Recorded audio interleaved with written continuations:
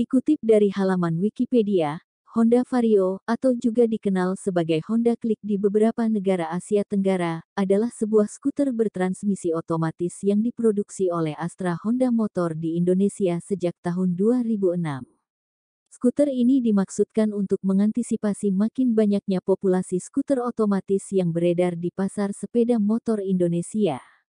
Vario telah muncul dalam berbagai varian dengan kapasitas mesin mulai dari 110 cm3 sampai 150 cm3.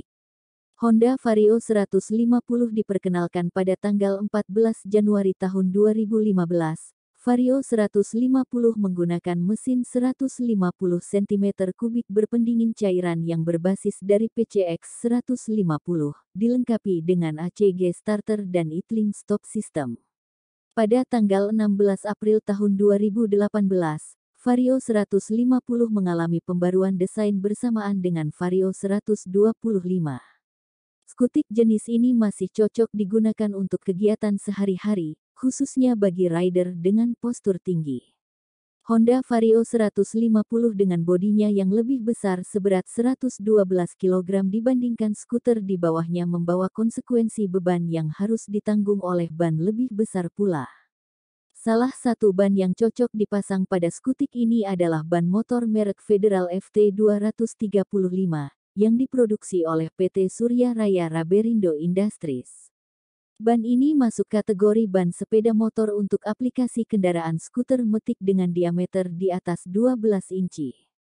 Mari kita review spesifikasinya, telapaknya, dan harga di pasaran. Nama brand atau merek dagang dari ban ini adalah Federal. Sedangkan nama pattern atau kode telapaknya adalah FT235. Ukuran dari ban depan ini adalah 80 per 90 strip 14 dan ukuran ban belakang 90 per 90 strip 14. Pada ban depan, angka 80 artinya lebar nominal dari ban ini adalah 80 mm. Angka 90 setelah garis miring adalah aspek rasio, atau perbandingan antara tinggi ban dengan lebar telapak dalam satuan persen. Sehingga tinggi ban depan adalah 90% dari 80 mm, sama dengan 72 mm. Sedangkan untuk ban belakang tingginya adalah 90% dari 90 mm, sama dengan 81 mm. Kode atau tanda strip artinya ban ini memiliki struktur play karkasnya diagonal atau ban bias. Dan angka 14 adalah diameter pelek yang digunakan, yaitu 14 inci. Service description adalah kemampuan ban untuk menahan beban dan kecepatan kendaraan yang ditulis dalam bentuk indeks beban dan simbol kecepatan. Untuk ban depan indeks bebannya adalah 40P dan ban belakang adalah 46P. Indeks beban 40 setara dengan maksimum beban 140 kg dan 46 setara dengan maksimum beban 170 kg. Kapasitas beban total dua roda adalah 310 kg. Jika berat kosong kendaraan 112 kg, maka selisihnya sebesar 198 kg merupakan kapasitas untuk pengendara dan bagasi. Untuk simbol kecepatan kedua ban ini ditulis dalam huruf P, jika dikonversi ke tabel simbol kecepatan setara dengan kecepatan maksimum ban ini adalah 150 km per jam. Tulisan nilon menandakan material penyusun dari karkas ban ini terbuat dari lapis nilon. Tulisan korelasi beban dan tekanan angin ini artinya, ban ini dapat mengangkut beban maksimum, jika tekanan anginnya juga disetting maksimum. Untuk ban depan, jika beban maksimum 140 kg maka tekanan angin maksimum yang diizinkan adalah 225 kPa atau 33 PSI yang diukur dalam kondisi dingin. Sedangkan untuk ban belakang jika beban maksimum yang diinginkan adalah 170 kg, maka tekanan angin maksimum yang diizinkan adalah 225 kPa atau 33 PSI yang diukur dalam kondisi dingin. Tulisan 2421 pada ban belakang adalah kode dari minggu produksi pembuatan ban, di mana angka 24 menunjukkan minggu ke-24 dan angka 21 menunjukkan tahun 2021. Sedangkan untuk ban depan kodenya adalah 0921, artinya ban ini dibuat pada minggu ke-9 tahun 2021. Pada kedua ban terdapat tanda segitiga ini, artinya tanda keausan telapak atau tread wear indicator disingkat TWI. Jumlahnya ada enam titik di kedua sisi samping ban dengan jarak yang sama. Jika tanda ini diurutkan ke tengah telapak, maka akan ditemukan batas keausan telapak berupa tonjolan di dasar alur telapak.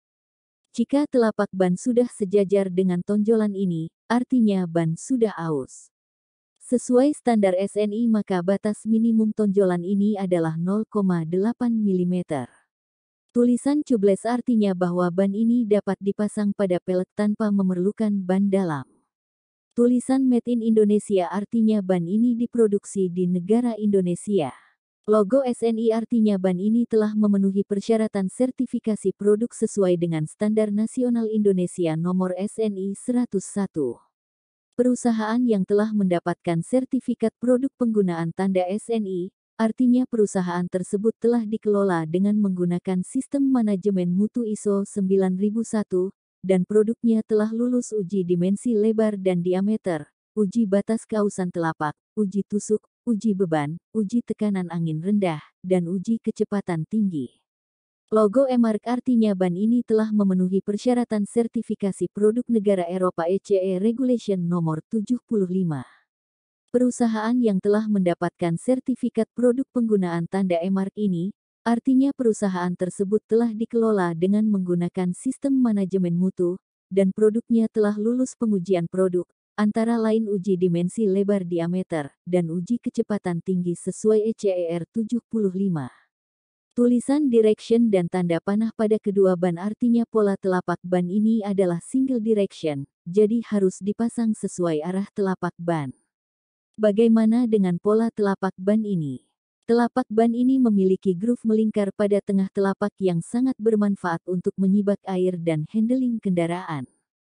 Alur lateral kecil dan besar di kanan kiri atau solder telapak digunakan untuk traction di jalan, sekaligus juga untuk menyibak air. Void ratio atau perbandingan antara groove dan kontak area telapak cukup seimbang dengan tujuan mendapatkan performa yang berimbang di semua aspek, dan sangat cocok digunakan harian pada jalan kering ataupun basah. Harga ban ini diambil dari toko online yang dicek pada tanggal 24 Desember tahun 2021, Melalui mesin pencari Google, harga sepasang ban ini berkisar di angka 350.000 hingga 450 ribuan. Demikian tadi review spesifikasi ban motor Federal FT 235 yang digunakan pada motor Honda Vario 150. Semoga review ini bermanfaat.